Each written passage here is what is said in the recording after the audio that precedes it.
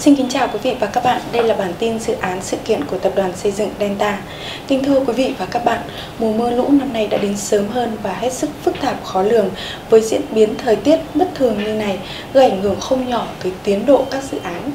đang xây dựng của Tập đoàn Xây dựng Delta, nhất là các dự án ven sông, ven biển. Vì vậy, Ban Chỉ huy Công trường tại các dự án cần phải hết sức đề phòng chủ động các phương án phòng chống bão lũ để đảm bảo an toàn chất lượng công trình cũng như tính mạng của người lao động. Thiên tai lũ lụt gây ra rất nhiều ảnh hưởng tới tiến độ công trình là thế. Vì vậy là những người làm xây dựng, chúng tôi thấu hiểu hơn hết những khó khăn mất mát của bà con nhân dân các tỉnh miền núi khi bão lũ tràn về. Đêm mùng 2 dạng sáng ngày mùng 3 tháng 8 năm 2017, trận lũ ống chưa từng có trong lịch sử đã càn quét các tỉnh Sơn La, Lai Châu, Yên Bái, trong đó thị trấn Mù Cang Trải, tỉnh Yên Bái được coi là rốn lũ. 20 phút gồng mình với lũ, thị trấn Mù Cang Trải đã phải chịu rất nhiều những mất mát và đau thương về người và của. Rất nhiều những công trình bị phá hủy, nhiều người bị thương vong, mất tích và nhiều điểm trường bị xóa sổ hoàn toàn. Theo chân dự án xây trường từ thiện Delta theo em đến trường,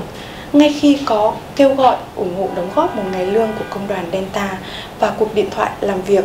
khẩn với trưởng phòng giáo dục đào tạo Mù Cang Trải, đoàn từ thiện Delta đã có mặt nhanh chóng tại thị trấn Mù Cang Trải để khảo sát thực tế hiện trạng những điểm trường cần xây dựng, sửa chữa kịp thời trước khi mùa khai giảng đang đến gần. Sau đây, xin kính mời quý vị và các bạn cùng xem một số hình ảnh thực tế. Đến với huyện Mù Cang Trải, tỉnh Yên Bái, đoàn từ thiện xây trường của tập đoàn xây dựng Delta được chứng kiến những dấu ấn kinh hoàng của trận lũ ống lịch sử ngày 3 tháng 8 năm 2017, càn quét qua các tỉnh Sơn La, Lai Châu, Yên Bái. Trong đó, thị trấn Mù Cang Trải được coi là rốn lũ cả một thị trấn ngổn ngang sỏi đá lớn theo dòng lũ xiết cuốn về. Công tác tìm kiếm cứu nạn, khắc phục sau bão lũ vẫn đang diễn ra hết sức khẩn trương nhanh chóng.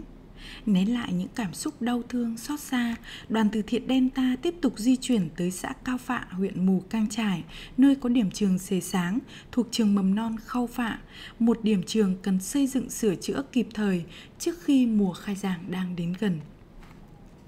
được sự giới thiệu dẫn đường của thầy Hoàng Văn Đồng, trưởng phòng giáo dục đào tạo huyện Mù Cang Trải. Cán bộ Delta chúng tôi, những con người đã quen với đá sỏi và nhiều loại địa hình xây dựng, vẫn không khỏi có chút run tay khi di chuyển qua những con đường gập ghềnh, trơn trượt, những con dốc dựng đứng để tới được điểm trường xề sáng. Mặc dù rất may mắn, hôm nay là một ngày trời quang mây tạnh nên việc đi lại dễ dàng hơn rất nhiều đón tiếp đoàn từ thiện Delta tại điểm trường Xề Sáng, còn có Chủ tịch xã Cao Phạ ông Vàng A Trái và cô Mai Thị Lan, hiệu trưởng trường mầm non Khâu Phạ, xã Cao Phạ. Tiếp xúc và nói chuyện với đoàn từ thiện Delta, cô Mai Thị Lan đã giới thiệu về điểm trường mầm non Xề Sáng. Thì uh, điểm trường này là điểm trường Xề Sáng của vâng. trường mầm non Khâu Phạ, vâng. là một trong những điểm trường lẻ của đơn vị nhà trường và điều kiện cơ sở vật chất ở đây thì cũng gặp rất là nhiều khó khăn. Tuy nhiên là cái độ an toàn cũng như là à, cho các cháu trong năm học ừ, tới và năm học tiếp theo là cũng không được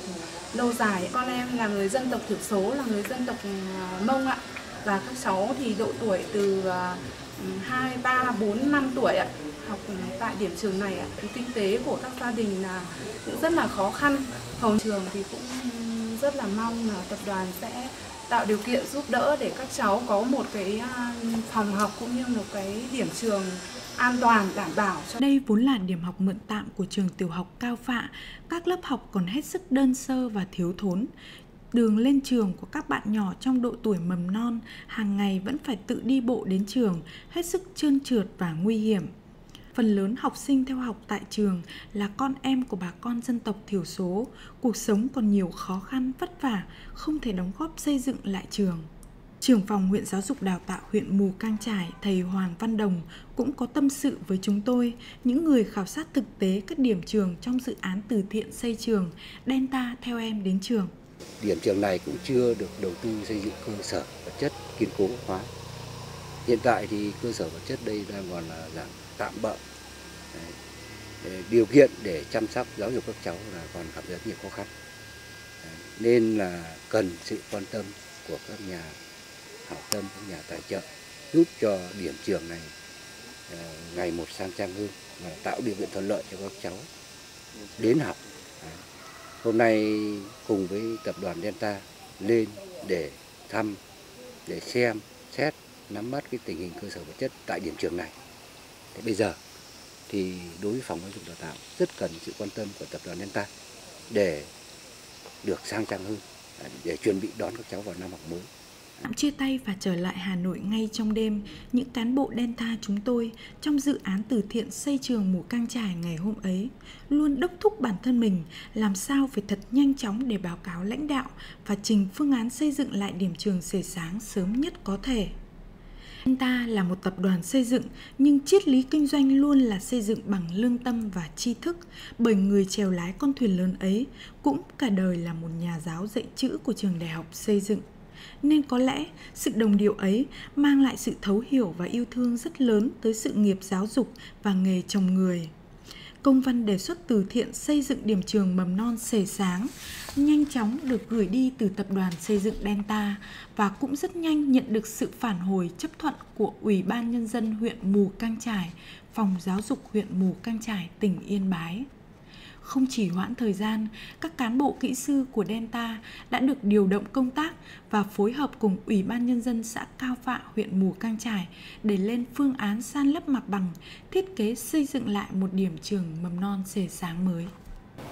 Vâng, với sự khẩn trương thi công xây dựng lại điểm trường xề sáng, hy vọng rằng con em của bà con xã Cao Phạ sẽ nhanh chóng được quay trở lại trường học với một mái trường khang trang hơn và đầy đủ hơn. Và chúng tôi, những người làm chương trình dự án từ thiện xây trường Delta theo em đến trường, hy vọng sẽ được sự ủng hộ đóng góp của toàn bộ các thành viên trong đại gia đình lớn Delta, đặc biệt là các bạn Delta nhí. Các con hãy chia sẻ một phần đồ chơi, truyện tranh của mình để gửi tới các bạn vùng cao mù cang trải. Mọi sự đóng góp truyện tranh, sách truyện và đồ chơi, vui lòng liên hệ mail công đoàn a vn Trên đây là tin tức của phòng truyền thông Delta và tôi là Thanh Nhàn. Xin chào và hẹn gặp lại.